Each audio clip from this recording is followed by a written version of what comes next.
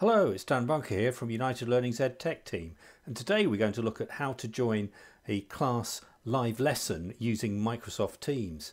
First of all, I'm going to go to the office.com website where I can sign in to uh, office.com using my school email and password. Once I'm logged in, I can navigate to Microsoft Teams. That's the purple icon with the T and it, when I hover over it you'll see it says Teams. When I click on that it'll take me to the last team that I used and in this case I'm just going to log back in and pick up my Microsoft Teams that I belong to. I'm going to use the web app for this particular lesson joining.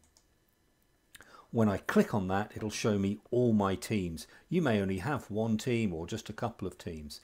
This is the lesson this morning um, and this is the team where the lesson will take place. When I click on the team, there may be some channels where the lessons have been posted. In this case, there's a live lessons channel and all the live lessons will get posted to it.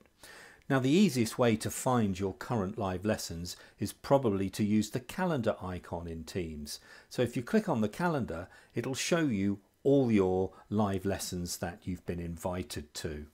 Here's the lesson that I want to join. It's the history lesson. When I click on it, I'll be able to use the join button.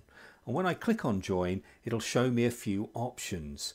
I could use my webcam I'm going to turn that off because when I join the meeting, I don't want my webcam on. Your school may have put some settings in that either allow or disallow um, webcams, but your school will be able to tell you about the policy for that. You may want to change your background setting and you may want to mute your mic so when you join the lesson there isn't any background noise that you will uh, disturb with. I'm now going to click on join now and once I join that meeting I get a little message saying when the meeting starts we'll let people know you're waiting. That means the school uh, meeting organizer has set a lobby up so I can't just join the lesson straight away I have to be admitted uh, for uh, the lesson and that's to keep everybody safe in that lesson.